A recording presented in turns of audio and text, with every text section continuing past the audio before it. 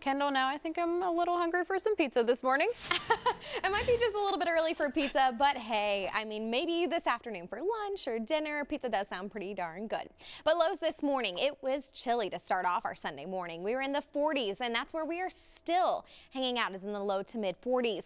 But look at our morning low trend as we head into the next week. We are going to be in the low 40s to start off Monday, and then we're dipping into the 30s for Tuesday morning, and then especially Wednesday morning. So a possible frost freeze on Wednesday morning and then once again on Thursday morning. So if you do have any sensitive plants, just make sure to cover those up if they are susceptible to that. But then as we head into the end of the week, we're back into the 50s and a warming trend begins as we head into next weekend. So we just have to get through the next several days. But today, at least, it's a pretty nice day. This is taking a live look out at 71st Street and 169, where temperature is coming in at 48 degrees. Winds are light out of the west northwest at 5 miles an hour. Humidity is at 83% and our dew point is at 43. Also, our pressure is rising at this time. So across the state, it's kind of a variance of temperatures. So 30s and 40s, we're sitting right at 48 in the metro, 44 in Muskogee, 39 in Oklahoma City, and then the panhandle. Look at this, 29 degrees this morning in Guymon. So it is cold out in the west, but by this afternoon, we'll top out for highs in the low to mid 60s all across the state. So it's really not too bad, but where we should be is the low 70s. So we're just a few degrees below that.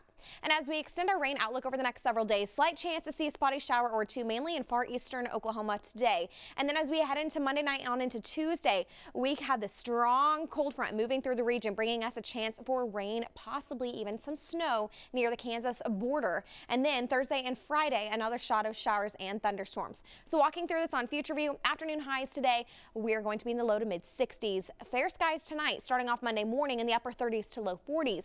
Afternoon highs tomorrow are fantastic. We are going to be in the low 70s. Make sure to enjoy this because this is when big changes come into play on Tuesday morning. So upper 30s and low 40s to start off Tuesday morning. Here's that cold front and here's that snow in portions of Kansas. And that's going to sweep across our area, especially our far southeastern Kansas counties. Could get clipped by this system and we could see a brief transition period over to rain slash snow, a few snowflakes. But right now we're not expecting anything in terms of accumulation or any travel impacts. But you might just see a few snowflakes, which is kind of random for this time of the year. But then by lunchtime, a few more showers. That pushes off to the east of us and temperatures on Tuesday afternoon are in the upper 40s. So a chilly, damp and breezy day is on the way for Tuesday. So just get ready.